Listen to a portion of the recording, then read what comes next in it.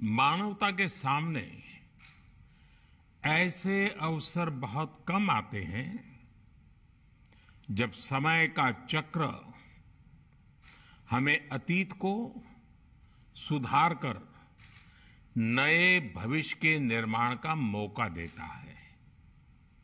आज सौभाग्य से हमारे सामने एक ऐसा ही क्षण है दशकों पहले जैव विविधता की सदियों पुरानी जो कड़ी टूट गई थी, विलुप्त हो गई थी, आज हमें उसे फिर से जोड़ने का मौका मिला है। आज भारत की धरती पर चीता लौट आए हैं।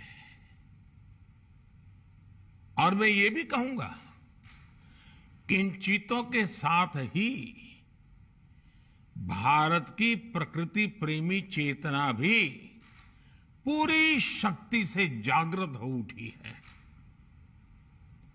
मैं इस ऐतिहासिक अवसर पर सभी देशवासियों को बहुत बहुत बधाई देता हूँ। विशेष रूप से मैं हमारे मित्र देश नामीबिया और वहाँ की सरकार का भी धन्यवाद करता हूँ, जिनके सहयोग से दशकों बाद चीते भारत की धरती पर वापस लौटे हैं। मुझे विश्वास है, ये चीते न केवल प्रकृति के प्रति हमारी जिम्मेदारियों का बोध कराएँगे, बल्कि हमारे मानवीय मूल्यों और परंपराओं से भी अवगत कराएँगे। साथियों, जब हम अपनी जड़ों से दूर होते हैं तो बहुत कुछ खो बैठते हैं। इसलिए ही आज़ादी के इस अमृत काल में हमने अपनी विरासत पर गर्व और गुलामी की मानसिकता से मुक्ति जैसे पंच प्राणों के महत्व को दोहराया है। पिछली सदियों में हमने वो समय भी देखा है जब प्रकृति के दोहन को शक्ति प्रदर्शन और आधुनिकता का प्रतीक मान लिया गया 1947 में जब देश में केवल आखिरी तीन चीते बचे थे तो उनका भी साल के जंगलों में निष्ठुरता और गैर ज़िम्मेदारी से शिकार कर लिया गया। ये दुर्भाग्य रहा कि हमने उन्नीस सौ बावन में चीतों को देश से विलुप्त तो घोषित कर दिया, लेकिन उनके पुनर्वास के लिए दशकों तक कोई सार्थक प्रयास नहीं हुआ। आज आज़ादी के अमृत काल में अब देश नई ऊर्जा के साथ चीतों के पुनर्वास के लिए जुट गया है। अमृत में तो वो सामर्थ्य होता है जो मृत को भी पुनर्जीवित कर देता है। मुझे खुशी है कि आज़ादी के अमृत काल में कर्तव्य और विश्वास का ये अमृत हमारी विरासत को, हमारी धरोहरों को और अब चीतों को भी भारत की धरती पर पुनर्जीवित कर रहा है। इसके पीछे हमारी वर्षों की मेहनत है। एक ऐसा कार्य राजनीतिक दृष्टि से जिसे कोई महत्व नहीं देता, उसके पीछे भी हमने भरपूर ऊर्जा लगाई। इसके पीछे एक विस्तृत चीता एक्शन प्लान तैयार किया गया। हमारे वैज्ञानिकों ने लंबी रिसर्च की। साउथ अफ्रीकन और नामीबियाई एक्सपर्ट के साथ मिलकर काम किया। हमारी टीम्स वहाँ गई। वहाँ के एक्सपर्ट भी भारत आए। पूरे देश में चीतों के लिए सबसे उपयुक्त क्षेत्र के लिए वैज्ञानिक सर्वे किए गए और तब कूनो नेशनल पार्क को इस शुरुआत के लिए चुना गया। और आज हमारी वो मेहनत परिणाम के रूप में हमारे सामने है। साथियों, ये बात सही है? कि जब प्रकृति और पर्यावरण का संरक्षण होता है तो हमारा भविष्य भी सुरक्षित होता है। विकास और समृद्धि के रास्ते भी खुलते हैं। कूनो नेशनल पार्क में जब चीता फिर से दौड़ेंगे तो यहाँ का ग्रासलैंड इकोसिस्टम फिर से रिस्टोर होगा। बायोडायवर्सिटी और बढ़ेगी। आने वाले दिनों में यहाँ इको टूरिज़्म भी बढ़ेगा।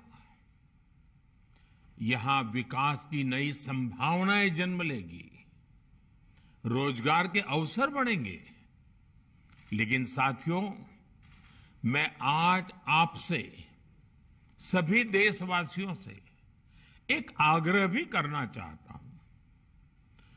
कूनो नेशनल पार्क में छोड़े गए चीतों को देखने के लिए देशवासियों को कुछ महीने का धैर्य दिखाना होगा, इंतज़ार करना होगा, सहयोग करना होगा। आज ये चीते मेहमान बनकर आए हैं। इस क्षेत्र से अनजान है। कूनो नेशनल पार्क को ये चीते अपना घर बना पाए, इसके लिए हमें इन चीतों को भी कुछ महीने का समय देना होगा। अंतर्राष्ट्रीय गाइडलाइंस पर चलते हुए भारत इन चीतों को बसाने की पूरी कोशिश कर रहा है। हमें अपने प्रयासों को विफल नहीं होने देना है। साथियों दुनिया आज जब प्रकृति और पर्यावरण की ओर देखती है तो सस्टेनेबल डेवलपमेंट की बात करती है।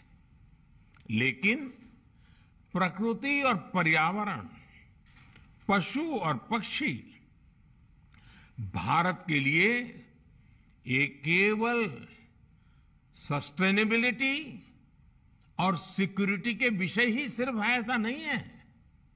हमारे लिए ये हमारी सेंसिबिलिटी और स्पिरिचुअलिटी का भी आधार है। हम वो लोग हैं जिनका सांस्कृतिक अस्तित्व सर्वम खलविदम ब्रह्म इस मंत्र पर टिका हुआ है। अर्थात संसार में पशु, पक्षी, पेड़, पौधे, जड़, चेतन जो कुछ भी है, वो ईश्वर का ही स्वरूप है।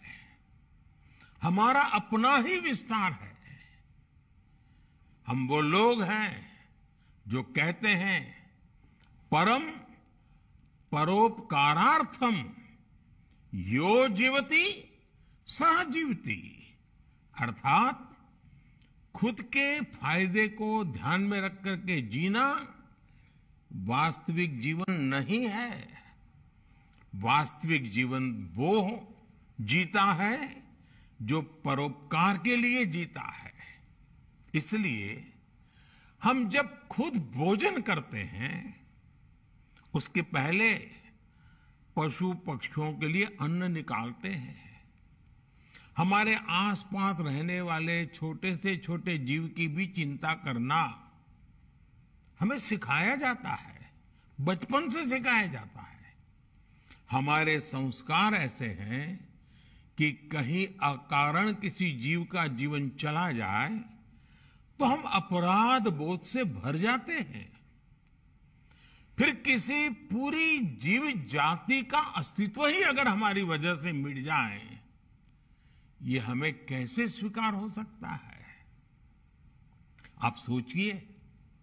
हमारे यहाँ कितने ही बच्चों को ये पता तक नहीं होता है कि जिस चीता के बारे में सुनकर वो बड़े हो रहे हैं, वो उनके देश से पिछली शताब्दी में ही लुप्त हो चुके हैं। आज अफ्रीका के कुछ देशों में और ईरान में चीता पाए जाते हैं, लेकिन भारत का नाम उस लिस्ट से बहुत पहले हटा दिया गया था। आने वाले वर्षों में बच्चों को इस विडंबना से नहीं गुजरना पड़ेगा। मुझे विश्वास है, वो चीता को अपने ही देश में, कूनो नेशनल पार्क में दौड़ता देख पाएँगे। चीता के ज़रिए आज हमारे जंगल और जीवन, उसका एक बड़ा शून्य भर रहा है। साथियों, आज 21वीं सदी का भारत पूरी दुनिया को संदेश दे रहा है कि इकोनॉमी और इकोलॉजी कोई विरोधाभासी क्षेत्र नहीं है। पर्यावरण की रक्षा के साथ ही देश की प्रगति भी हो सकती है। ये भारत ने दुनिया को करके दिखाया है। आज एक और हम विश्व की तेज़ी से बढ़ती अर्थव्यवस्था में शामिल है तो साथ ही देश के वन क्षेत्रों का विस्तार भी तेज़ी से हो रहा है। साथियों 2014 में हमारी सरकार बनने के बाद से देश में करीब करीब 250 नए संरक्षित क्षेत्र जोड़े गए हैं। हमारे यहाँ एशियाई शेरों की संख्या में भी बड़ा इजाफा हुआ है। आज गुजरात देश में एशियाई शेरों का बड़ा क्षेत्र बनकर उभरा है। इसके पीछे दशकों की मेहनत रिसर्च बेस्ड पॉलिसीज़ और जन भागीदारी की बड़ी भूमिका है। मुझे याद है, हमने गुजरात में एक संकल्प लिया था। हम जंगली जीवों के लिए सम्मान बढ़ाएँगे और संघर्ष घटाएँगे। आज उस सोच का प्रभाव परिणाम के रूप में हमारे सामने है। देश में भी टाइगर्स की संख्या को दोगुना करने का जो लक्ष्य तय किया गया था, हमने उसे समय से पहले हासिल किया है। असम में एक समय एक सिंग वाले गैंडों का अस्तित्व खतरे में पड़ने लगा था, लेकिन आज उनकी भी संख्या में वृद्धि हुई है। हाथियों की संख्या भी पिछले वर्षों में बढ़कर तीस हज़ार से ज़्यादा हो गई है। भाई और बहनों, देश में प्रकृति और पर्यावरण के दृष्टिकोण से जो एक और बड़ा काम हुआ है, वो है वेटलैंड का वेटलैंड का विस्तार। भारत ही नहीं, पूरी दुनिया में करोड़ों लोगों का जीवन और उनकी जरूरतें वेटलैंड इकोलॉजी पर निर्भर करती है। आज देश में 75 वेटलैंड्स को रामसर साइट्स के रूप में घोषित किया गया है, जिनमें 26 साइट्स पिछले चार वर्षों में ही जोड़ी गई हैं। देश के इन प्रयासों का प्रभाव आने वाली सदियों तक दिखेगा। और प्रगति के नए पथ प्रशस्त करेगा। साथियों, आज हमें वैश्विक समस्याओं को, समाधानों को और यहाँ तक कि अपने जीवन को भी होलिस्टिक वे में देखने की ज़रूरत है। इसलिए आज भारत ने विश्व के ये लाइफ आई एफ़ लाइफ यानी लाइफस्टाइल फॉर द एनवायरमेंट जैसा जीवन मंत्र दिया है। आज इंटरनेशनल सोलर अलायंस जैसे प्रयासों के द्वारा भारत दुनिया को एक मंच दे रहा है, एक दृष्टि दे रहा है। इन प्रयासों की सफलता दुनिया की दिशा और भविष्य तय करेगी। इसलिए आज समय है कि हम ग्लोबल चुनौतियों को, दुनिया की नहीं, अपनी व्यक्तिगत चुनौती भी माने। हमारे जीवन में एक छोटा सा बदलाव पूरी पृथ्वी के भविष्य के लिए एक आधार बन सकता है। मुझे विश्वास है भारत के प्रयास और परंपराएँ इस दिशा में पूरी मानवता का पथ प्रदर्शन करेगी, बेहतर विश्व के सपने को ताकत देगी। इसी विश्वास के साथ आप सभी को इस मूल्यवान समय पर, ऐतिहासिक समय पर बहुत बहुत धन्यवाद देता हूँ। बहुत बहुत बधाई देता हूँ। इन खबर चैनल को सब्सक्राइब करें